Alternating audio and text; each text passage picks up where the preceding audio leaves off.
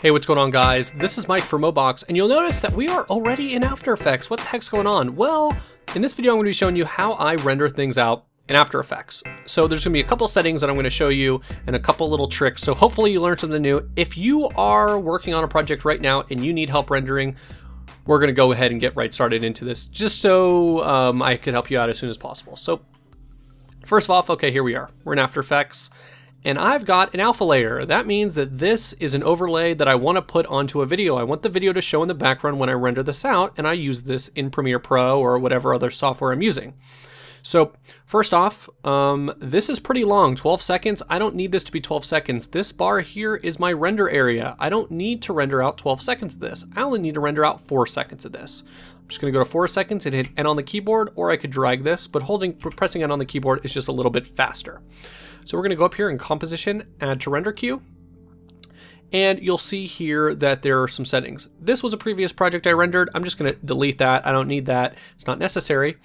Um, but what you see here is we have best settings and we have lossless. So we're gonna go ahead and click lossless and see what kind of settings we could use in here to reduce this the file size and so that way we could preserve that alpha layer. So you're gonna need QuickTime. QuickTime is a setting that allows you to use PNG and alpha channels. So I'm just going to select QuickTime, come up to Format, and it's already on PNG. For you, it might be on H264, but you wanted to set this to PNG. Just gonna hit OK. By the way, that was in this box here that I that I went and changed that setting. For channels, I'm just gonna click this and go down to RGB and alpha. What that does is it preserves the background. Now, if you're rendering this kind of stuff for YouTube or um, for other compositions, for YouTube, then these settings will be fine. If you're doing this on a professional level, you might want to use higher end codecs, but for us on YouTube, um, this will be perfectly fine. So just a quick tip here is if you hit this little triangle down right here, you could make this a template.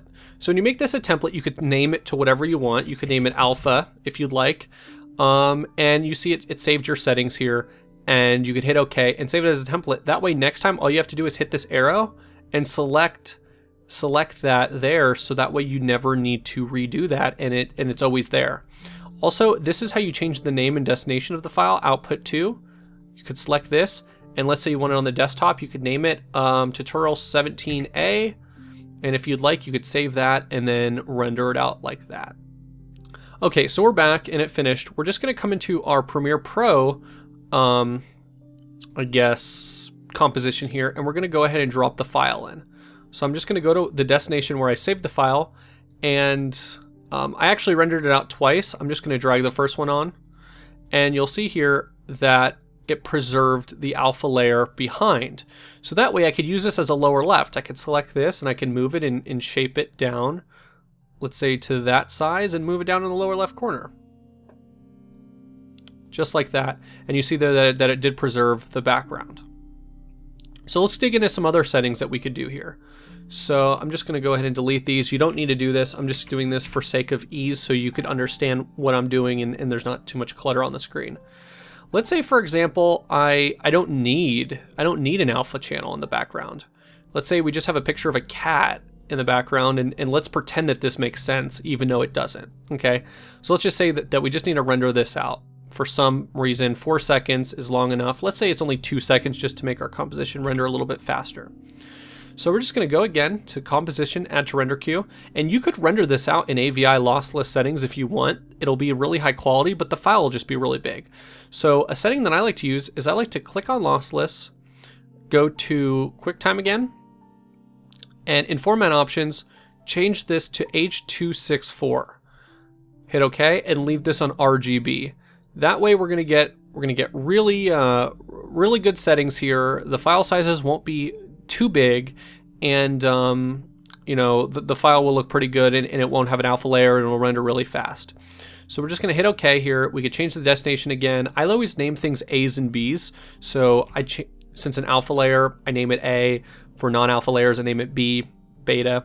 There's no reason, but that's just that's just how I do it. That's how I keep track of, of especially certain parts, if I'm if it's a multi-part section and one's an alpha layer and one's a beta layer, I name it, I call it a beta layer. It's not really called a beta layer. Um, I just name it B. So hit save, and again, I can click this and make this a template, and I have. I have it as an alpha, I've got a beta, and then I also have PNG here. So again, if you render this out, it goes really fast. No need to do a hard cut. Um, it renders out really fast. We're just going to come back into the Premiere, the Premiere uh, composition, and I'm going to drag this one in.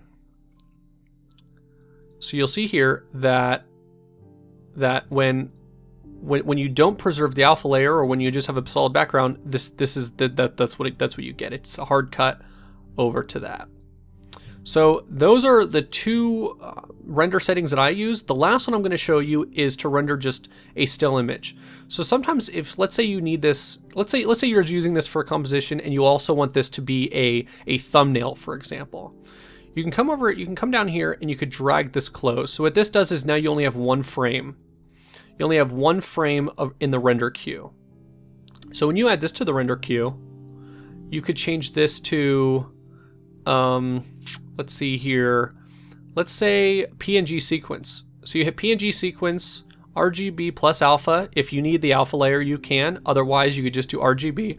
I do RGB plus alpha just because sometimes there's an alpha layer, sometimes there's not.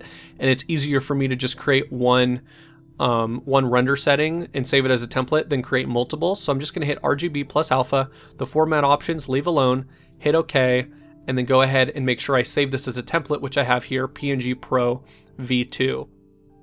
Again, you click on this setting and and you, you could you could name it here. You hit OK. And by the way, you could do this with more than one frame. You could do this with 100 frames and it'll render 100 frames.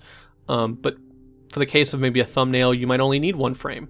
So you hit render and it renders really fast. And you now can go to your destination folder. You'll see that there's a folder that it creates. If you have multiple frames that, that, that you rendered, this will be full of frames. But since we only rendered one, we have one and it's just a still image, as you can see there. So you can then open this in, let's say, Photoshop or GIMP or whatever, and um, even Paint, you could open it up in Paint. This is just an image. It's a PNG file image.